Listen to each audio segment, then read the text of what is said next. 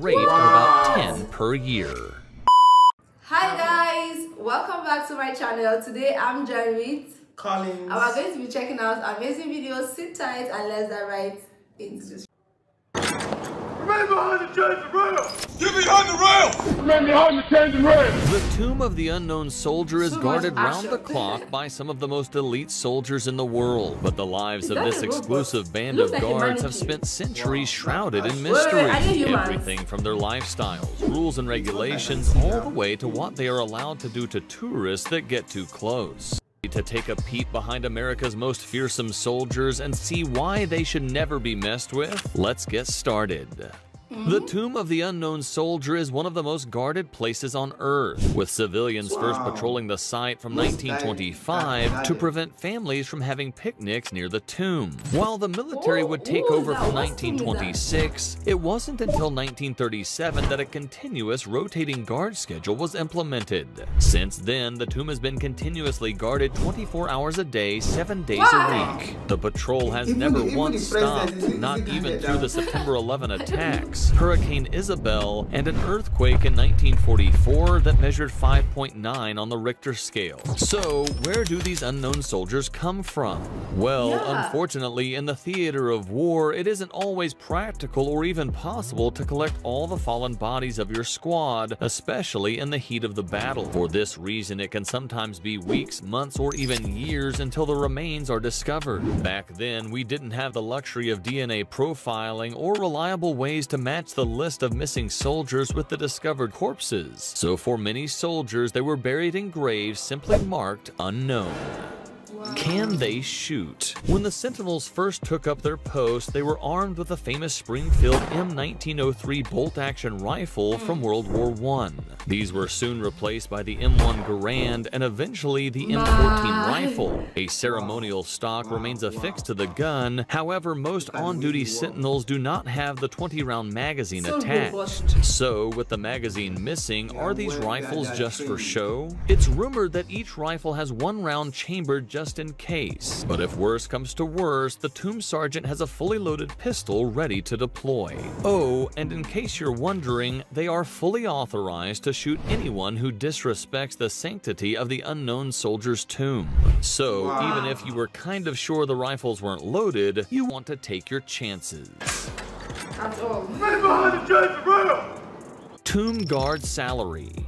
The burning question on everyone's minds how much do these elite soldiers get paid? Soldiers in the old guard are paid the same as any other service member of the same rank and time and grade, and are also entitled to compensation for extraordinary expenses and additional dress uniforms. The thing is, the Sentinels do not display rank insignia. This is done so as not to outrank the buried unknown soldier, whatever their rank may have been. However, sources point to an average salary of about $43,800 per year for this elite role. But don't hold your breath. These soldiers are all there because they consider it a sacred honor to have the opportunity to guard the not actually the unknowns. Disrespecting a tomb guard. Visitors to the tomb of the unknown soldier are warned to exercise the utmost respect during particular ceremonies. They are required to stay behind the fenced off viewing area and to remain standing and silent for the duration. If anyone tries to approach the tomb or is too loud and disruptive, the sentinel will interrupt the ceremony and give a single verbal warning while moving his rifle to the ready position. It is important that everyone maintain an atmosphere of silence and respect at all times. If that person continues to breach the tomb or be disruptive, the tomb guard is authorized and expected to use lethal force. Get behind the rail!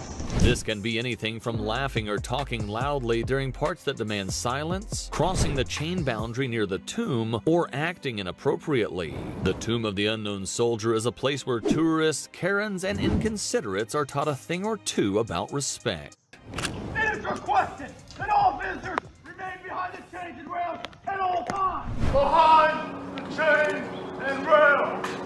Where do sentinels live? Guards of the Tomb of the Unknown Soldier have a few accommodation choices available after their shift. While most of the Sentinels live in adjacent barracks at Fort Myers, for those that have 24-hour shifts, they can retreat to a secret hidden quarters buried under the steps of the Tomb's amphitheater. When they're not sleeping or on active duty, Sentinels use the space for study and training. Their day begins at 5 a.m. with arrival at the Tomb Quarters 1 for duty. The Tomb Guards will inspect the quarters, prepare their uniforms, review orders, and receive their duty assignments for the coming day. At 6.30 a.m., the Tomb Guards inspect the trainees' readiness and uniforms. If a trainee meets relevant standards, the Tomb Guards may allow them to walk the first morning guard change known as a bolo at 7 a.m. The evening bolo will be the final change and walk of the day.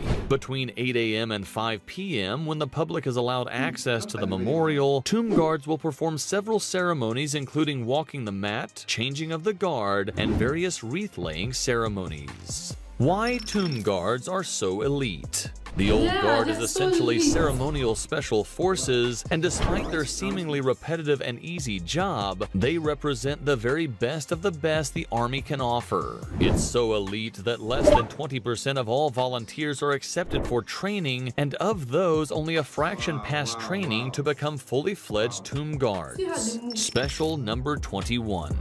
You see the number 21 repeated a lot in the the military, unknown, and for the Tomb Guards, this is especially true. DNA. During the walking of the mat, sentinels take 21 steps before turning to face the tomb for 21 seconds. After changing the shoulder of their weapon and turning to face down the mat, the guard pauses for another 21 seconds before again marching for 21 steps. The I sentinel then repeats this over and over until the guard change ceremony begins. 21 is seen as the highest honor awarded to military personnel. The 21 gun salute is used to respect high-ranking military officers, presidents, and members of a royal family. Furthermore, the first ever unknown soldier was buried on the 11th of November 1921. The unknown American soldier's remains were exhumed from a cemetery in France and repatriated to the US where it was laid to rest below a three-level marble tomb. Tomb Guard Training Secrets To become a Tomb Guard or Sentinel, a soldier must be highly motivated, disciplined, and possess a strong military bearing and soldierly appearance. An application must be made through the Sergeant of the Old Guard, and if successful, the soldier is assigned to the tomb for an initial two-week training period. The training cycle is intense, consisting of a series of five grueling tests over 6 to 12 months. These tests focus on ceremonial performance, uniform preparation, and knowledge. At the end of the training cycle, trainees are expected to be able to flawlessly conduct seven different types of ceremonies, meet the highest standards of uniform preparation, and recite 35 whole pages of information without error. If a trainee fails any test at any point, they are assigned back to their company. If a trainee Wow. is among the tiny so number of successful applicants each year, they are awarded the Tomb Guard Identification Badge and will from then on be referred to as a Tomb Guard or badge holder by their fellow Sentinels. Just to illustrate how prestigious this title is, only around 700 Tomb Guard Identification Badges or TGIBs have been issued since the 1950s at a rate of about 10 per year. What's your opinion on the Tomb Guards?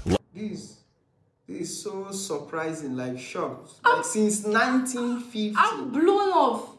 Actually Wow. admire the, the, the way um, Americans, or should I say Westerners, the way they respect their military personnel. Like, it's something I've seen in many videos. I've not witnessed it, but I've seen the respect, the attention, the care they give to their military personnel is on 100. Like, how. It's crazy.